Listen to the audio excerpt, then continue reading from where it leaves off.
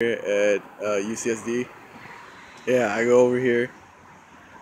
Right now, like you're looking at the oceanfront view.